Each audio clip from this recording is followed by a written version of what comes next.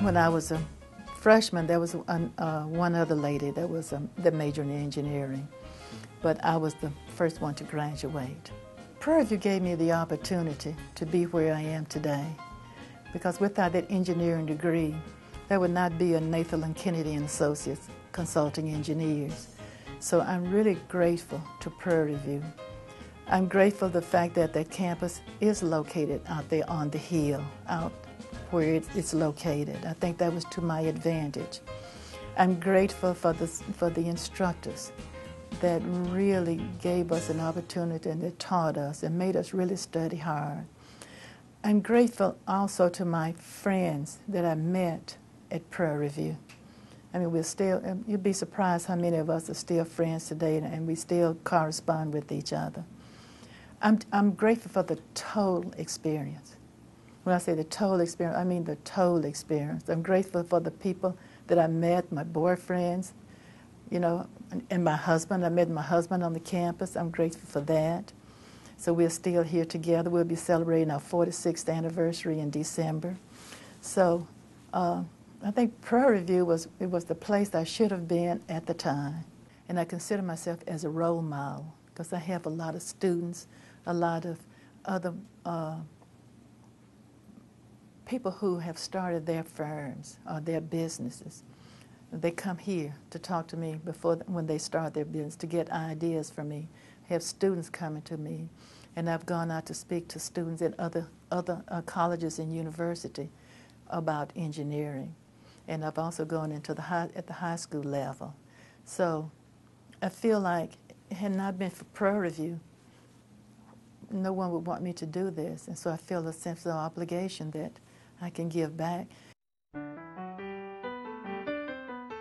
Prairie View has withstood the times. So th- that says something there. And it's still growing, it is still well known, and we're still producing. As our motto says, we're producing productive people. Prairie View, I think it's the camaraderie of being there. I'm sure it's different now for the younger people that are down there now perhaps in even a better way than, than what we had. But it almost forged a love in your heart.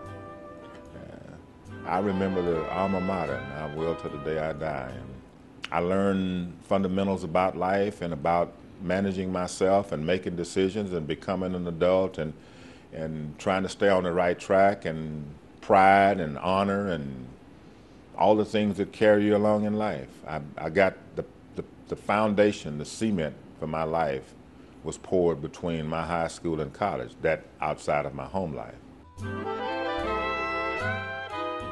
At Prairie View, I had the opportunity to uh, live an unrestricted life. I either excelled or failed on my own. And uh, it also pro provided me, in terms of my education at Prairie View, uh, the, the, the, opportunity for leadership. Uh, uh, I, I, ended up uh, being an, an officer in, in uh, my class for three years. I became the uh, president of the fraternity, uh, the president of the uh, Wichita Falls Club, um, and a member of the student council. So I was, in fact, uh, being prepared for leadership. I did not realize that uh, that is what was coming out of my education but uh, make no mistake about it, I am absolutely convinced that but for the experiences I had at Prairie View and the direction I received from my professors, I don't believe that I would have been equipped to be a member of the United States Congress.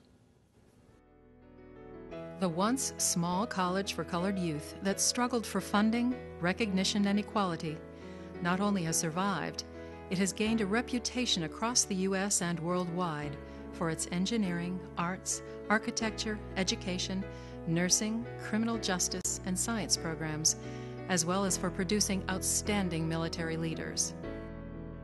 Today, Prairie View's buildings and trees sit in quiet dignity, guarding the heritage of those who built this institution and those graduates who went on to successful careers, making the world a better place. Prairie View A&M University, enriching the lives of all Texans since 1878.